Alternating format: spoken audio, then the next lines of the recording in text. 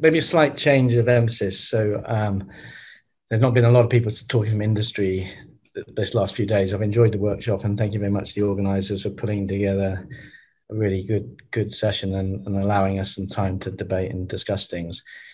So I, I, represent effectively an industry component of the supply chain should a quantum network be developed. And, and I think when, when I was approached to talk, I was mainly asked to talk about that topic, but I think in doing so, I should give a sense of what's happening in quantum diamond and some of the other areas we're talking about before talking a little bit about the challenges to scale the technology for markets yet to be clearly identified. So scaling, delivering quantum, diamond quantum solutions. So give a very brief introduction to quantum diamond. You've heard some of this before. Beautiful talk from Jörg Wrachtrup at lunchtime, um, just before lunch. Then I'll say a little bit about some of the work we've been doing on color centers and their application, talking a little bit about one of the other applications driving quantum diamond magnetic sensing, because that has some parallels and has some other pools for the material which this community can benefit from, but also it diverges at some points. And then to end the talk, talk a little bit about how do we as a commercial organization think about this? What are the risks in scaling this technology and, and how the, the ecosystem as a whole perhaps could work together to make sure that those risks are mitigated and, and, and how that might work. And, and a few learnings from the semiconductor industry there. Well, I spent uh, a large part of my life in the US a few years back. So quickly, diamond engineering appeal. Many of you know something about its quantum properties, but but diamond is also a very good conductor of heat. In fact, it's the best conductor of heat of any material. So believe it or not, the fact this video is happening and hopefully you can see me and no interrupts is actually in part of the internet backbone. There's a electrical to optical converter, and that's mounted on a piece of diamond because the power density going through that is such that you've got to keep it cool. So mounting on a piece of diamond allows the bandwidth we increasingly take for granted in the, in the current age. So diamond's already playing a role in classical networks, more from a thermal management point of view, from a passive use of some of its properties. Optically, many of you know it's transparent from the UV all the way up to the far infrared, all the way up to the RF part of the spectrum. So high-end, high-power lasers have been using diamond now for 20 years for pushing power densities up. But the emphasis today is to talk a little bit about the quantum so um, if you think about a, a, host material for a quantum spin, naively you look at diamond, and actually diamond looks quite appealing. Short, stiff, rigid bonds. So basically, your spin orbit interaction is very, very, very weak. T1 times can be very long. Your natural abundance of, of nuclear spins is very low because most of diamond is carbon 12, which has zero nuclear spin. So unlike quantum dots, you're not dealing with a lot of nuclear spins in the material. Um, so your, your T2 times can be quite long. And then on top of that, of course, you want long coherence times, you want low spectral diffusion, and ideally you'd like a, a transition that easily maps in, into existing telecoms infrastructure in the infrared. So we've been working on and investing and developing research in diamond for 60 years. And a lot of that in the first 30 years was all about understanding diamonds, natural diamonds properties, and in the last 30 years really been emphasizing how we can use synthetic techniques to grow diamond and actually control its properties. And the technique that we use that's helped unlock some of these applications you've heard about, and we hope will continue to unlock more, is a process called chemical vapor deposition. So for those unfamiliar to diamond in its crudest sense, it, it's, it's a more akin to a semiconductor process for making material. We feed energy into a resonant chamber, shown here on the left. That energy heats up the gases. The gases in the simplest form are carbon containing, so methane and hydrogen. And if you like, the magic chemistry is the hydrogen, because you have a much cooler substrate than the plasma. The carbon precipitates out of this hot plasma on that substrate both as sp2 graphitic phases and as sp3 diamond phases. But if the plasma is hot enough, you can produce an awful lot of atomic hydrogen, and that atomic hydrogen etches away the graphite, the sp2 phases, and by default leaves sp3 diamond. So for many, many years, people believed you couldn't grow diamond in this part of the phase diagram, relatively low temperatures and pressures, because it's a place where the local chemical kinetics um, beat the, the local thermodynamic conditions. So you can grow diamond at relatively low temperatures and pressures using chemical vapor deposition. The benefit then of this, this environment means that you can start to think about doping. You can control the purity. You can add impurities into the gas phase for doping. So we're going to talk a little about silicon and nitrogen in a bit. So we can add those deliberately into the plasma and then and not quite MBE type control, but you can get layer by layer growth of, of these defects into the material, these color centers in the material. We've been developing this for, for 20 years, and, and, and that shows an example of a, of a six inch wafer that we use in a, in a thermal application. So in principle, it's a scalable process that you can deposit over relatively large areas. It's fair to say, though, the quantum community has pushed us to the level, to the extremes of our understanding of this process. The, the, the need for nanoscale and sub part per billion level control of impurities has really been a challenge. And, and, and, and so far, Diamond's um, good progress been made, and we've, we've, hit some, we met many of those challenges and the things we have to think about gas phase surface processes quality of the surface and it's all those things together as a material grower you have to put together and, and, and solve the matrix of problems. so quickly go through the, the two most common defects being explored right now for quantum networking and a array of other quantum diamond devices that we're talking about at the moment it's like nitrogen vacancy defect uh, carbon atom substituted by nitrogen next to a neighboring vacancy. It has an electronic spin associated with that. That electronic spin can have very long T1 times. It can be minutes at room temperature. And T2 can approach T1, um, especially if you take the, uh, the, the, natural abundance carbon 13 out of the material and go to isotopic purity. One of the challenges of the nitrogen vacancy defect, however, is actually it has a very broad emission, but a lot of emission in this phonon sideband. So it has a pretty low Debye-Waller factor. And that can be a challenge when you want to get efficient coupling of photons away from these spins in the material. Silicon vacancy in the last couple of years have been explored by a number of groups, and, and talked about some of that, and some lovely work from Natalie in Princeton, Leon in Princeton, and, and the Harvard teams and that's beginning to increasingly leverage the neutral charge state of the silicon vacancy defect. It's a defect that hadn't been explored that much until the last four or five years. And, and one of the nice things about it is it emits at 950, so it emits in the near infrared, much closer to the telecoms wavelengths. Again, while you might you have to resort to cryogenic temperatures. In this case, it can have very long T1, T2 times with the benefit of actually better optical properties. So not only is the emission closer to is in the NIR, it's also actually a much narrower transition. So, so that's one of the reasons why that's being explored at the moment. So switching quickly back to the NV and talking a little bit about the flavor of the work that we've been heavily involved with over the last sort of five, six years. As many of you know, this nitrogen vacancy defect, you can spin polarize at room temperature by sh shining a green light on these one states will go up to one, but some of them will relax back via this singlet state and preferentially populate the zero state. So you can go around that cycle a few times and actually optically spin polarize the zero state. And then with an RF source around 2.8 gigahertz, you can cycle those transitions between the zero and one and produce a superposition state. You can then come back along and interrogate that system, shine another green photon, throw another green photon at it, and actually measure the intensity coming out and depending on whether it's in the zero state where it's brighter, when the one state is darker. So you've got optical spin readout. So it's a very attractive, it's a relatively simple system to initialize and read out. And that's certainly been one of the, the attractions of it in the early days. Um, from an engineering point of view, actually, I, I simplified it, but, it, but it, it is that. It's a green light source, it's an RF source, it's a clever piece of diamond, and it's a silicon detector. So the activation barrier to start making progress is relatively low. You don't need sophisticated cryogenics. You don't need all sorts of fancy, expensive lasers. You can start. But you can also see the challenge here because it's lots of discrete components. And, and, and ultimately, we need that integrated if you're going to ever come up with a low cost final solution. Um, little video here. This is from Jorg actually many years ago, actually showing the contrast I'm actually not sure it's actually actually running. I will ignore the video, but it actually shows it on off state just with a simple camera, which is amazing. The fact you can read this quantum state out without any sophisticated optics.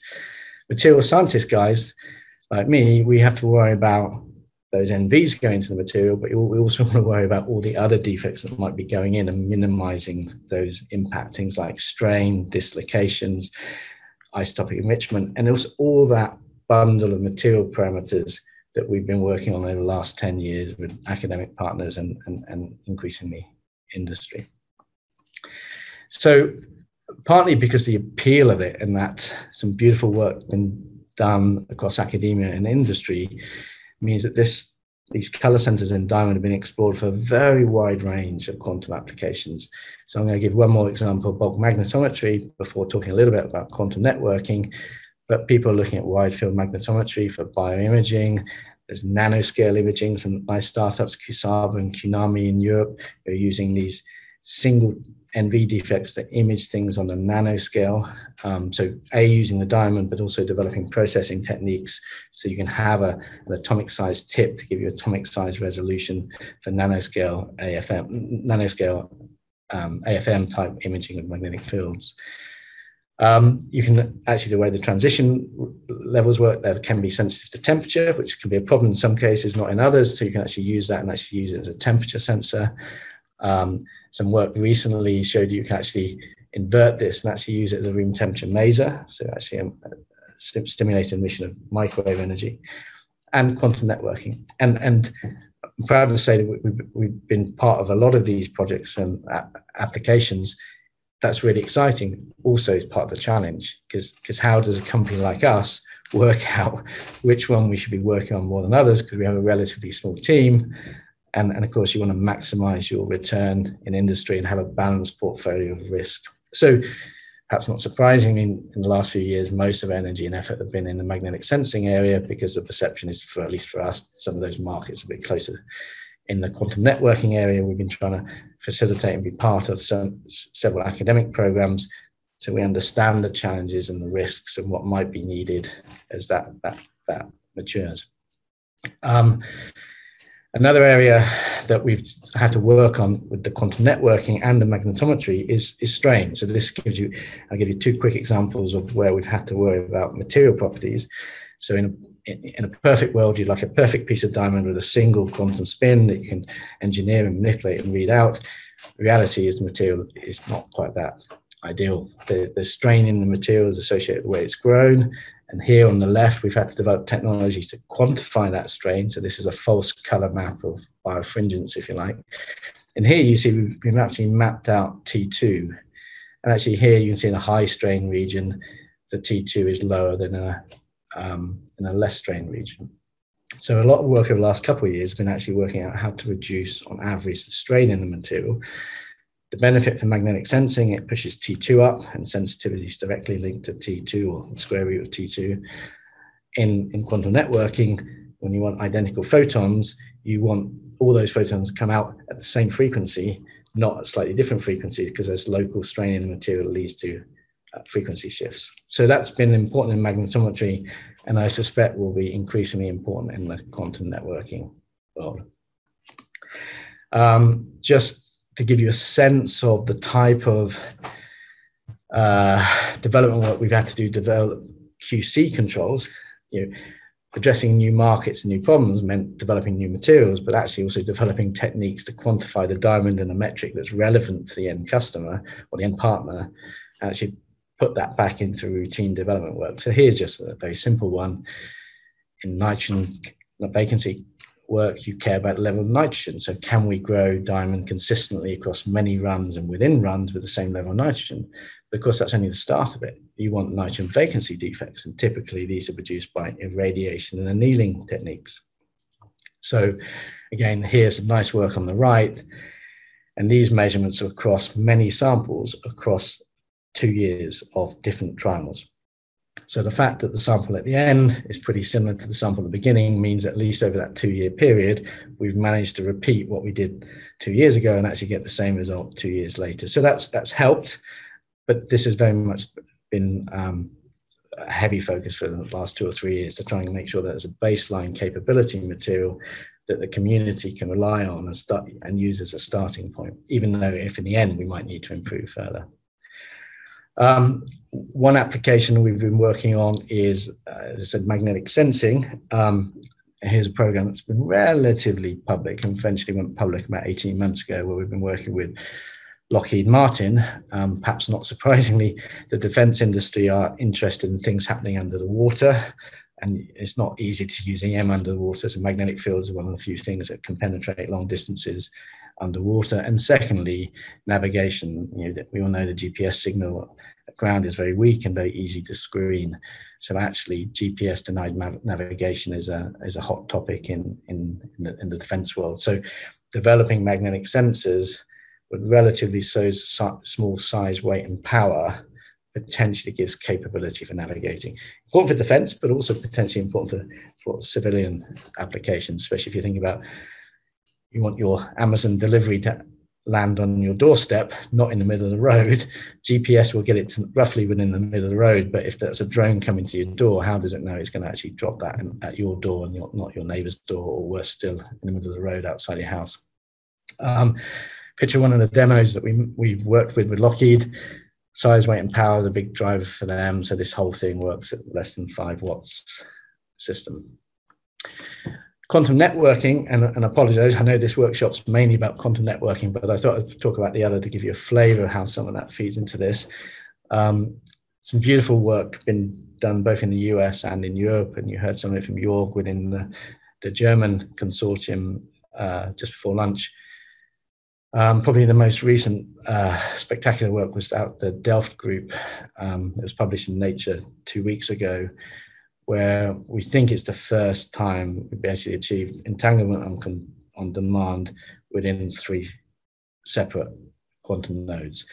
And, and, and, and it's just as Jörg illustrated, using the nuclear spin as a resource. So basically, you can entangle Bob with Alice write that entanglement state to Bob. He acts as a memory, and then you can go and then start to, Bob to talk to Charlie, and then come back and interrogate the nuclear spin again. One of the challenges of that was some of the beauty of the work that Delft have done is, is that that challenge of like when you want to start using this electronic spin again, not to end up having an impact on that nuclear spin. That nuclear spin is relatively isolated from the environment because it's nuclear spin, so the Bohr magneton is a couple of thousand times smaller, but nevertheless, it, it has an influence, and there's many tricks and protocols that the community have developed over the last few years. So, really beautiful experiment and um, demonstrating principle three nodes entangled at the same time, and of those three nodes, any other two could be entangled as well. And uh, and hopefully the basis of, of more exciting work coming forward. Okay, so quick switch. So last five minutes, thinking about commercial. Um, so this is a very, very simplistic. It's a very li- linear, dumb value chain. So, so here on the left, you've got the material guys, the guys making the, the heart, the quantum node, the quantum system, the quantum material, whether it be a superconducting circuit or whether it be a an atom tra- trapped in a in a quartz tube.